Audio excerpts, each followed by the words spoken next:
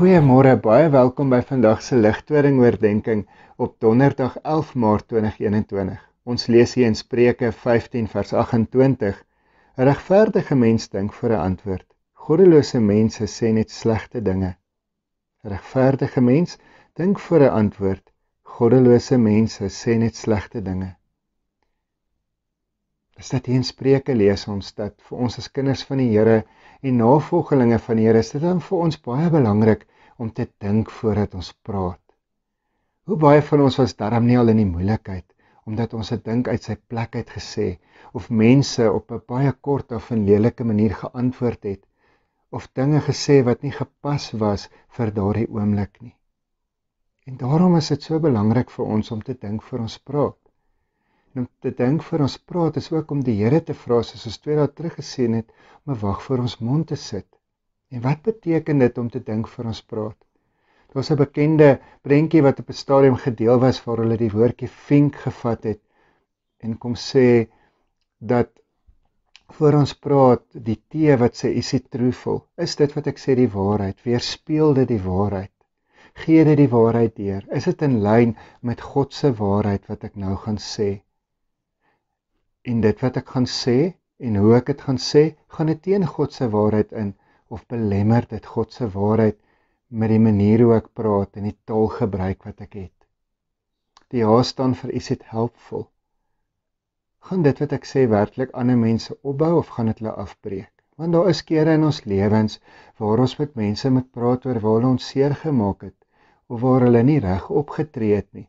En die vraag is, wat ons moet vra is gaan dit helpvol wees of gaan dit net wees om maar net kritiek te lewer? Want party mense is so negatief in hulle lewens dat hulle kritiseer alles en almal en maak nie saak wie wat doen nie dit is net nooit reg nie.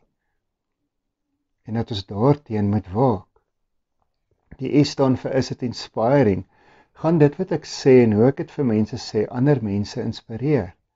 Inspireer om werklik 'n omkeer dalk in hulle lewens te maak. En wanneer ons kom by die evangelie, is dit God wat in en deur ons werk en ander mense inspireer en ooreed en oortuig om tot hom te nader. Die en staan vir is dit necessary?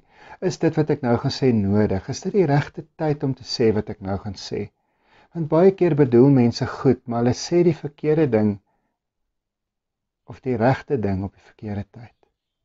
Veral wanneer mense in nood is, as geliefdes verloor of deur erge trauma gaan, kan ons goed bedoel, maar ons moet mooi dink oor wat ons sê op daardie oomblik. Is dit nodig om dit nou te sê? Is dit nou die plek en die tyd? En in die kaas staan vir is it kind, weerspieël dit die vriendelikheid as vrug van die gees. Hoe antwoord ek mense? Hoe reageer ek op hoe mense met my praat? Hoe reageer ek oor die algemeen wanneer ek skouers met mense by 'n winkel, by besigheid waar ek is reageer. En is dit wat ek sê vriendelik en weerspieël dit vriendelikheid. Mag ons werklik dink vir ons praat.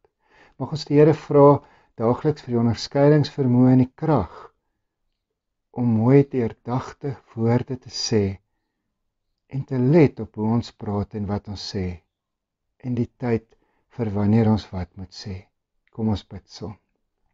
Hemelse Vader, dankie vir hierdie wonderlike wete dat U ons ook help in ons taal en hoe ons praat, dat U ons help om te dink voor ons praat, dat U 'n wag voor ons mond kan sit sodat ons op die regte tye die regte dinge sal sê en op die regte manier op U manier. En dankie dat ons dit in U naam kan bid. Amen. Mag jy 'n baie mooi en geseënde donderdag beleef.